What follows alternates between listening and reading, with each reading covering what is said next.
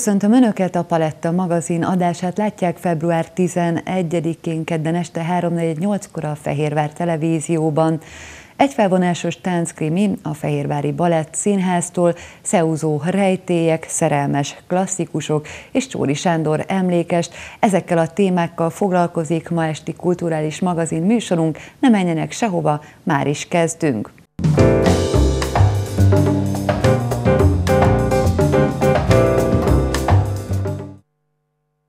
Fibula az első századból római kori érmék, összességében mintegy 600 lelet került elő az első alkalommal életre hívott közösségi régészeti nap keretében Szabadbattyányban. Több mint tíz éve volt az utolsó nagyobb legális keresés a szabadbattyányi területen, mely Szeúzó feltételezett palotájaként vált ismerté. 13 ezer négyzetméteres római kori épületkomplexumot rejt a föld, az épületnek a feltárás során nem került elő a vége, így további érdekességek bukkanhatnak még elő a lelőhelyről. Fejér, Pest és Veszprém megye múzeum barátai, régészei és fémkeresős önkéntesei végeztek kutatást a közösségi régészeti nap keretében. Felmérjük azt, hogy az elmúlt 10-20-30 évben milyen károk érték az illegális fémkeresők által ezt a lelőhelyet, és szeretnénk gyakorlatilag a, a leleteket menteni, tehát van egy ilyen, egy ilyen megelőző célzata a kutatásnak, hogy ez az anyag valóban közkincsé váljon, bekerüljön a múzeumokban, és kiállításokon, különböző kiadványokban mindenki által megismerhető legyen, ne magángyűjteményekbe vesszenek el, vagy ne külföldi aukciós házaknál lássuk viszont az innen származó leleteket, és hát nagyon fontos a tudományos cél említése is, hiszen ezeket a leleteket koordinátákkal együtt gyújtjuk, mindenhol bemérjük a koordinátákat, térképre tesszük, és a, az egyes település részek a talajradarral és légifotókkal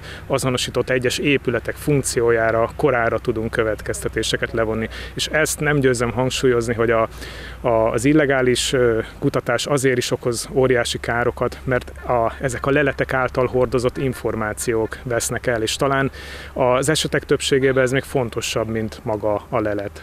Milyen eredményeket várnak? Tartogat-e meglepetést a mai nap? Igen, én nagyon bízom abban, hogy noha számos információnk van arról, hogy az elmúlt évtizedekben milyen veszteségek érték ezt a lelőhelyet az illegális kutatások miatt, hogy ennek ellenére számos új lelettel gazdagodunk. Most itt akár százas nagyságrendről beszélek, mert egy igazán nagy volumenű kutatásról van szó. És még azt fontos tudni, hogy hogy miért van annak értelme, hogy ezt akár évre, évre megismételjük, mert a szántás során a föld alatt rejlő különböző objektumokból, épületmaradványokból például újra és újra leleteket húz elő az eke. Olyan leleteket, amik lehet, hogy évtizedeken át a szántás ellenére olyan mélységben maradtak, hogy a fémkereső műszer nem észlelte, viszont lehet, hogy egy friss szántás után felszíre kerül, és nagyon fontos, hogy ne illegálisok martalékává váljon maradjon ez a lelet, hanem a helyére kerüljön a múzeumba. Épp a, a kapcsolótű is. Az eddigi adatok alapján a rómaiak nagyjából a másodiktól a negyedik századig használták a területet. Rögtön a nap elején előkerült egy úgynevezett Norpannon szárnyas fibula. Ez egy elég jellegzetes nők által használt ruhakapcsolótű az első századból. Ez pedig azt is jelentheti, hogy a település előzményei már az első századra visszavezethetőek. Tájékoztatott Kovács Lórend Olivér, a Gorzium régészeti park vezetője. Ez a terület, ahol állunk, ez igazából több szempontból is kiemelten fontos.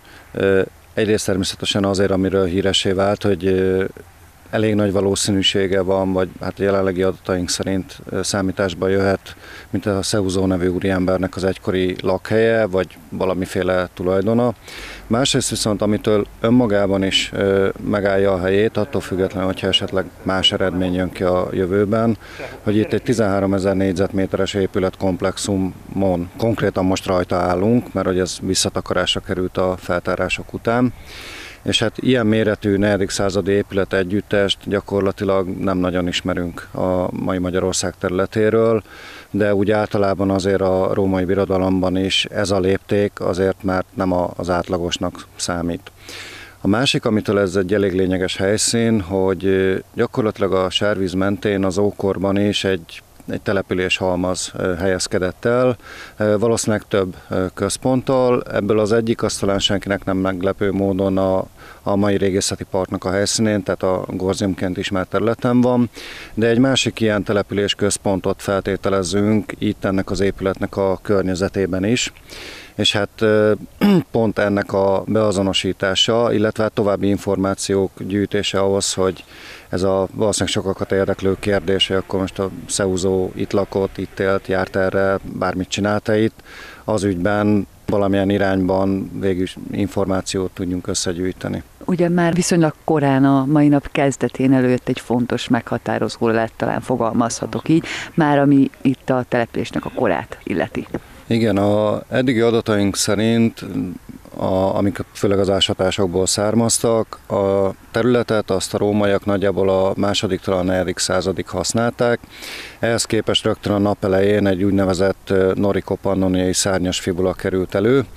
Ezt most kicsit köznyelvre fordítva, ez egy ruhakapcsoló tű, tehát magyarán itt körülbelül a vállán tűzi össze vele a ruháját az ember.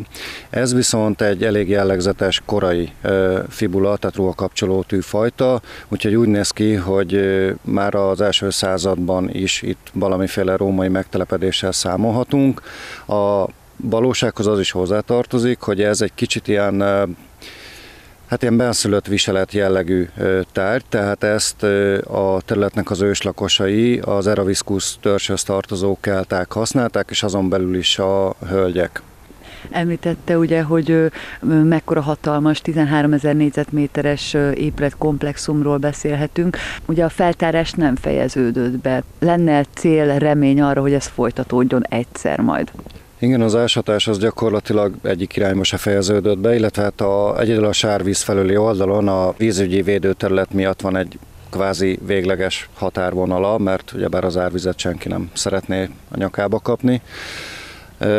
Magának az ásatásnak ekkora léptékben, amekkorában korábban zajlott állami támogatásból jelenleg nincsen realitása, de kisebb ásatási munkákat tervezünk.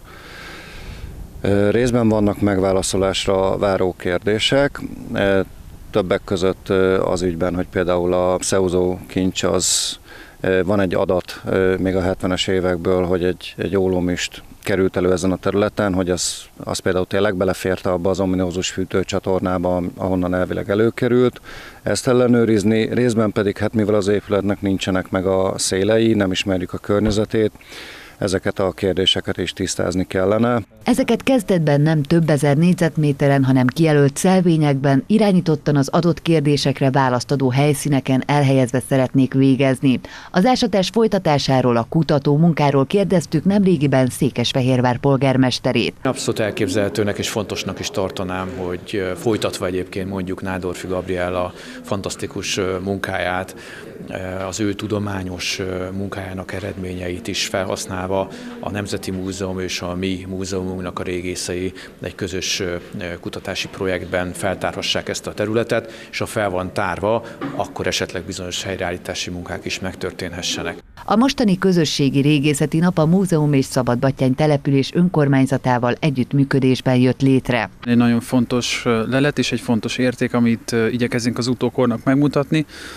De hát ennek az első köve talán az lenne, hogy ki is kéne deríteni, hogy mi, mi van itt valójában, és mi minden követ, ha szabad így fogalmazni, szeretnénk megmozdítani azért, hogy itt valami történjen. Az első mozzanat volt a közösségi régészeti nap, a következő a Szeúzó Estek előadás sorozat, melyet Szabadbattyány és Polgárdi közösen a Szent István Király Múzeum és a Fehérvár Média Centrum együttműködésével szervez. Február 18-án 18 órakor lesz az első este a település művelődési házában.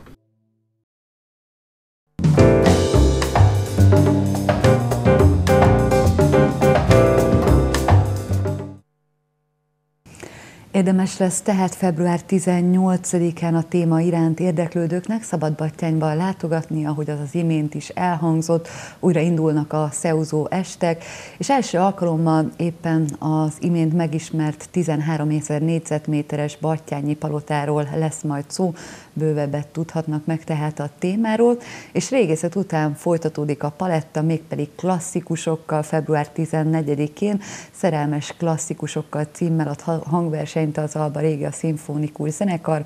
Ezzel folytatjuk a kulturális magazint. Stúdiónk vendége Bondor Erika, hangversenymester. Köszönöm, hogy elfogadtad a meghívásunkat. Én is nagyon szépen köszönöm a meghívást, és üdvözlöm a kedves nézőket.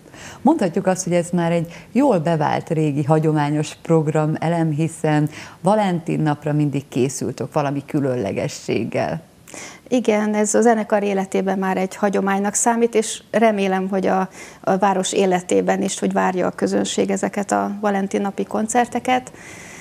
Ö, nagy ö, izgalommal készülünk, főleg én, ugyanis ö, ez az egész műsor gyakorlatilag, ha szabad ezt mondanom, az én gyermekem.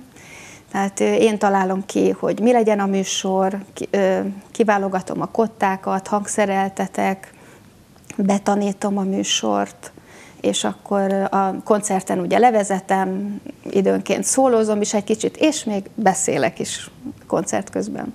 Akkor egy ilyen házigazda szerepköröd is van, fogalmazhatok igen. így? Igen, igen, teljesen. Ez egy jó megfogalmazás, igen. Mert a hangversenymester azért egy kicsit más, mint amit ebben a státuszban tétennél a programnál csinálsz. Ö, igen, a hagyományos értelemben vett hangversenymestert azt úgy kell elképzelni, hogy koncertmesteri székben ül. Ugye a hangversenymester nincsen karmester, és ő onnan levezeti a teljes koncertet. Ez lehet egy kis szimfónia, versenymű, kíséret, bármi. Ebben az esetben egy kicsit ez más. Én inkább talán mond a közönségnek André Rieu neve valamit. Egy kicsit így kell elképzelni, mint az ő műsorait, csak nyilván egy abszolút kisebb volumenű, de állok a zenekar előtt, és hegedűvel a kezemben irányítom tulajdonképpen a zenekart te állítod össze a műsorrendet is ezek szerint. Milyen repertoára számíthatunk az idei esztendőben? Hát, mint mindig, szerelmes dalokra. Tavaly egy kis történet köré fontam a, a dalokat, tehát úgy választottam. Most egy kicsit próbáltam ettől elrugaszkodni, és a műsornak az a lényege, vagyis hát a koncepció az az, hogy arra keresünk választ, hogy vajon minden nép, minden országban élő ember vajon ugyanazt érzi-e a szerelem és a szerelemmel kapcsolatosan, és így lesznek mexikói daltól kezdve a, a németekig, olaszokig, spanyol, magyar természetesen. Hogyha az ember a szerelemre gondol, akkor, és, és mondjuk a klasszikus zene repertoára, akkor valóban egy ilyen, azért egy hatalmas nagy merítésből kell ezt összeállítani évről évre ezt a műsorrendet, hiszen, hiszen azért a szerelem a zeneszerzőket megihleti. Igen, rengeteg mű van ilyen ebből a szempontból is. Viszont olyan abból meg nehéz, hogy az igazán klasszikus zeneszerzők nagy darabjait egy ilyen irányítással nagyon nehéz eljátszani, tehát ahhoz azért szükségelteti karmester, egy sokkal nagyobb apparátus. Tehát arra is kellett gondolnom, hogy ez a 29-30 fő, aki játszik ezen a koncerten, hogy mi az, ami megvalósítható. Ezért kell például hangszereltetni a számokat, mert most mondok egy-két címet, Bezame Mucho, vagy a Jalousi Tango, tehát ezek mind egy nagy zenekaros darabok, és ezt a mi, mi kisebb stábunkra kellett meghangszereltetni. És inkább, most inkább a, a örökzöldek közül válogattam elsősorban. Azt is elmondhatjuk, hogy hogy valóban ez egy ilyen könnyedebb, lazább hangvételű est, hiszen évről évre azért ez tükröződik. Igen, tehát nem ez a zenekar fő profilja, tehát ez, ez mindenkinek egy kis kirándulás, és szerintem nagyon élvezzük. Ugye benne vagyunk bőven a, a próba folyamatban, éppen onnan jövök, kicsit elfáradva, de nagyon lelkesen, és nagyon várom a, a koncertet. Ilyenkor ez a hét, mondhatjuk azt, hogy javában erről, meg zömében erről fog szólni, erről a próba folyamatról egészen február 14-ig? A zenekar életében? A zenekar hát életében. Hát erről is, azt kell, hogy mondjam, mert hál' Istennek olyan sok a feladat a zenekar életében, hogy paralel készülünk másik koncertre is, hiszen hétfő, jövő hét hétfő nem akarok rossz dátumot mondani, akkor már partitúra koncertjeink vannak, tehát közben arra is készülünk. Tehát holnap reggel például a partitúrára fogunk készülni, délután pedig a Valentin napra egy kicsit stílusváltással. Mivel más műfaj, mivel említetted, hogy, hogy más jellegű előadásmód, akkor, akkor ez mindenkinek egy ilyen kis örömzenélés is egyben, meg egyben kihívás is? Igen, mindkettő.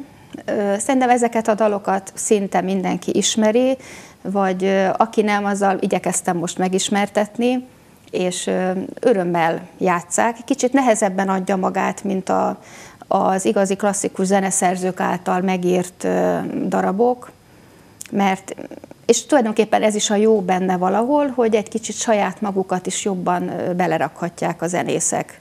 Nincs minden egyes dinamika, lassítás, minden kiírva, és ugye karmester nem úgy mutatja, mert én ugye a hegedűmmel nem tudok minden apróságot megmutatni, igyekszem amennyit lehet mindent, de muszáj, hogy egy kicsit önmaguk is beleadják a saját zenei elképzelésüket. Vagy az egyéniségüket Egyéniségüket, jobban. igen.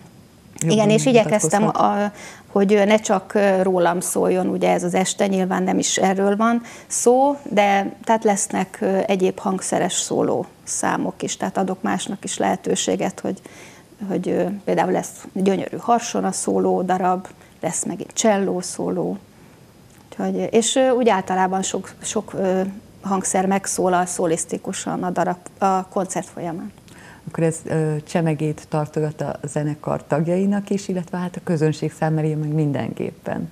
Hát mindenképpen. Tehát ö, azt elmondhatom, hogy a zenekar, szimfonikus zenekar életében úgy éves szinten nem nagyon fordul elő ilyen zenei stílus, mint a Valentin napos dalok.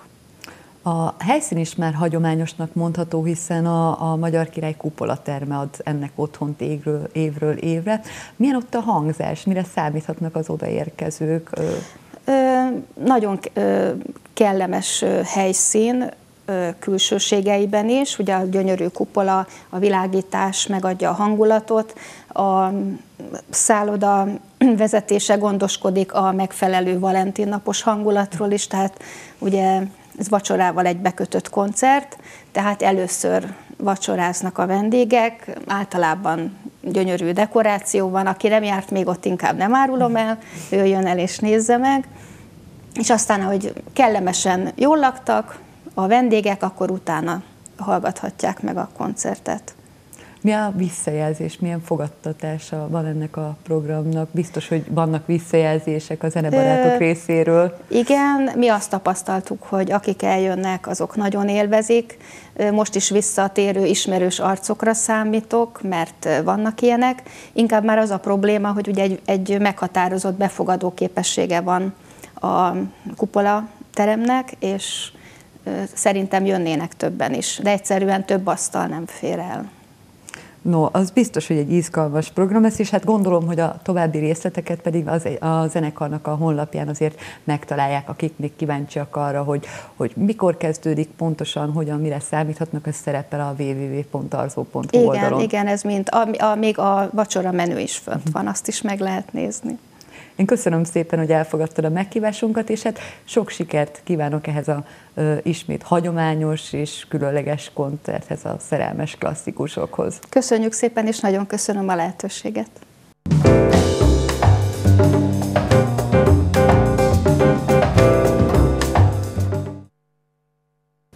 Egy felvonásos tánckrimivel készült a Székesfehérvári Balett Színháza premiernek a Vörös Marti Színház adott otthont. Franz Kafka rejtelmeivel, életének történésével ismerkedhetnek meg az érdeklődők.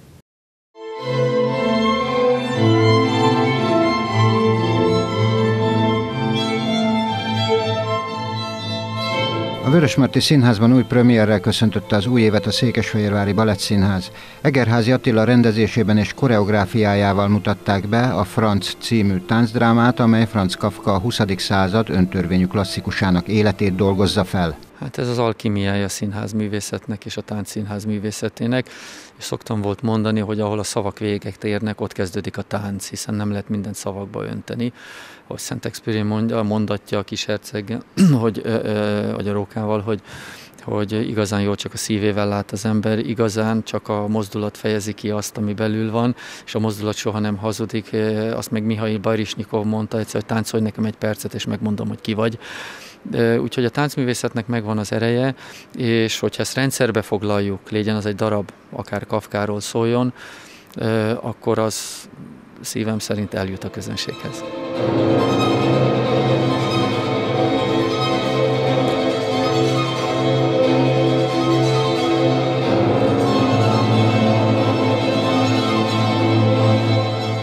Cél, hogy tanuljon meg igenis Kafkául. Nekem ez sose volt célom, hogy én valamit ráerőltessek a nézekre, hogy tanítsam őket, Isten őriz, hogy ilyen szavakat használják, éreztessen. Van egy divatos szóhasználat, ma mindig megmosolygom, hogy érzékenyíteni. Hát valahogy ez a lényeg, valami ez a lényege a színháznak. Tehát, hogy megérinteni az emberek szívét, mert hogyha ki tudjuk nyitni ezt az ajtót, vagy azokat az ajtókat, amik a felnőtt korral becsukódnak gyerekkortól folyamatosan, ahol ugye gyerekkorban nyitva vannak ezek az ajtók, akkor, akkor a, a táncművészet és a színházművészet elérte a, a célját. Az igazságot kell megfogalmazni, zenébe önteni, ez Arvo Partnak, Henry Goreckinek és Alfred Schnittkének, ugye, aki a zenei szövetét alkotják, egész jól sikerült, és abba bízom, hogy, hogy nekünk se kevésbé, és nem illusztráltuk a zenét, nem illusztráltuk egyetlen kafkai remek művet sem, hanem ezzel az hármas egységgel valami új minőséget teremtettünk. thank you az elidegenedés, a félelem, a bűntudat és az abszurditás kultikus zsenéjének látomásos alakját Fernando Luis olyan eszközrendszerrel formálja meg, tárja elénk, amely féktelen dinamikával, s ha kell, gyengéd eleganciával ötvözve mutatja meg félelmeit. Nem kétséges, mindenki másként gondolja és másként érti és érzi a darabban látottakat. Egy valami azonban biztos, ez egy elgondolkodtató darab, és számtalan olyan kérdést tesz fel a mának, amire nem tudhatjuk a választ.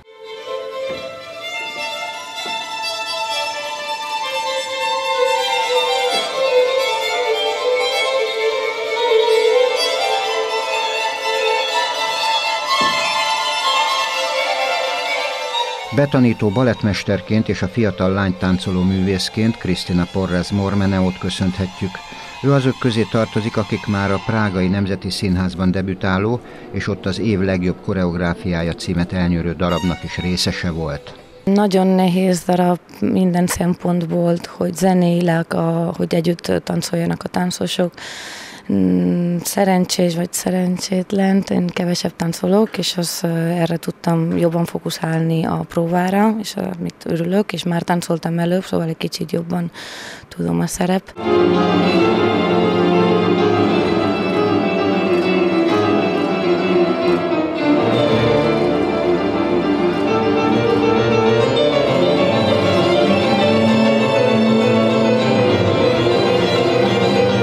Egerházi Attila úgy fogalmazott, a táncszínházi mű megalkotásával nem egy bizonyos kafkai mű tárgyalása volt a célom, hanem az író ismert vagy kevésbé ismert műveiből, videoklip-szerűen szerkesztett dramaturgiával a kafkai világlátást kívántam egy eredeti hangvételű balett által úgy megfogalmazni, amiként azt én látom.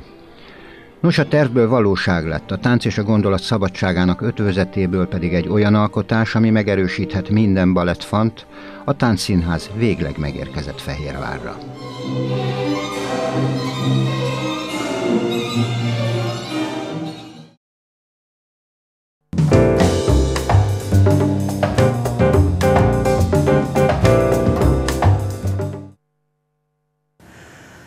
A Csóri Sándor emlékesnek adott otthont a Szent István Művelődési Ház és Hitoktatási Intézmény. Az eseményen ott volt a Paletta magazin stábja is. A Szent István Művelődési Házba invitálta az irodalombarátokat a Csóri Sándor Társaság, ahol a négy esztendeje elhunyt költő 90. születésnapján idézték meg nagyívű életművét. Az emlékesten a 20. századi magyar irodalom ikonjának versei, a népi kultúrát becsben tartó írásainak táncos és dalos formája is emlékeztettek arra az útra, amelyet igazságokkal kövezett ki a költő. Ez egy rendkívül összetett életmű, hiszen elsősorban a költőt szokták emlegetni, ha Csóri Sándor neve elhangzik. Ez teljesen jogos, hiszen a, a 45 utáni korszaknak az egyik legfontosabb költői teljesítmény hozta létre olyan, olyan társak mellett, mint Nagy László, Juhász Ferenc, épp a, vagy a Fehérvári Takács Imre és sokan mások. úgy gondolom, hogy ez az életmű szerves folytatása annak, ami, annak a nemzetéknek, amely talán I. és Gyulával fémjelezhető elsősorban, a prózában, eszében pedig német László. Váratlanul ti sajdultok meg bennem a butoroskadó diófa alatt. Mintha vadhattyú csordát hajszolna felétek egy farkas, hordja rátok a szél, hordja a havat. A Csóri életműben a, a lírai megújulás, a lírai ha úgy teszik, forradalom után, vagy vele együtt az eszéíró teljesítmény is fontos, és ebben egyértelműen német László kezenyomát lehet az elődök között felmérni. Ugye tudjuk, hogy nem csak irodalmi tárgyú eszéi fontosak, nem csak a történelemmel, a második világháborúval, például a zámai történésekkel kapcsolatos események, hanem például azok az eszék is, amelyek a népköltészetről, a népművészetről szólnak. Erre szokták mondani, hogy ugye az egyik alapvetés az, hogy a magyar népdal, népköltészet világ világában például a, a szürrealisztikus ábrázolásnak igen nagy jelentősége van, és ez azért is érdekes, mert, mert némiképpen azt hiszem, hogy új dolgokat hozott létre, új dolgokat tett közzé. Arcok zuhannak,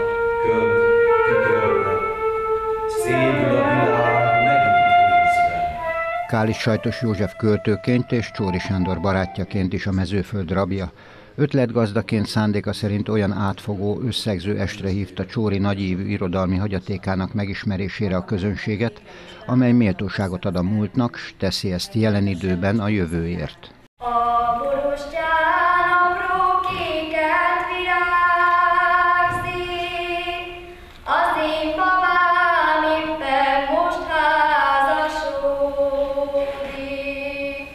ezt az életművet és mindazt, amit a népi kultúráért tett Csóri Sándor, ezt mi a felnövekvő nemzedékeknek átadjuk, és ők legyenek ennek a zászlónak, zászlóvívők, ők legyenek a későbbiekben. Két kölös zöld homályú úton, magam ballagok, fejed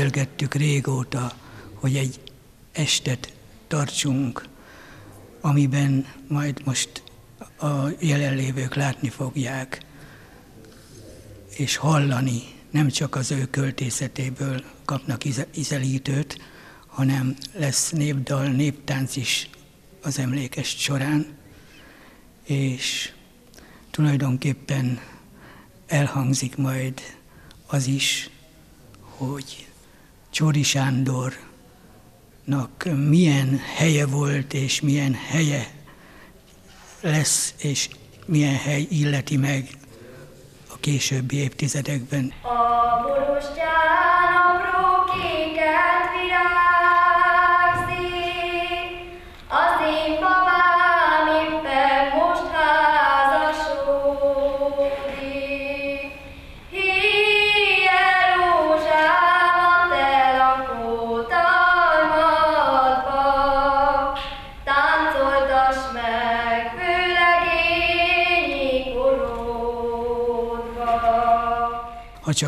a mezőföldet nézzük, akkor Vörös Martitól errefelé, I. és Gyulán át eljutunk, eljutunk Csóri Sándorhoz, akik, akikről nyugodtan mondhatjuk, hogy a mindegyikük költőfejedelem.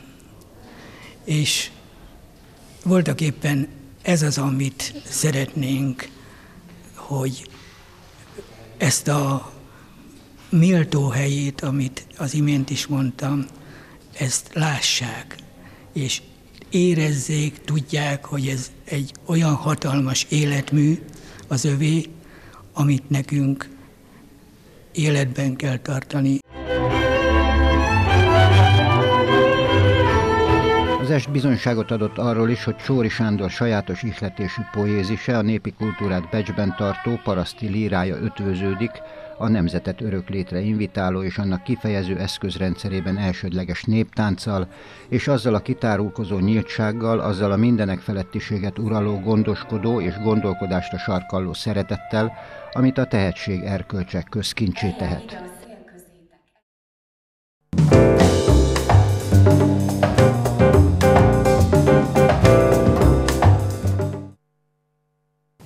Kedves nézőink, ez volt már a Paletta Kulturális Magazin. Legközelebb egy hét múlva jelentkezünk, hogyha tehetik, tartsanak velünk akkor is. Viszontlátásra!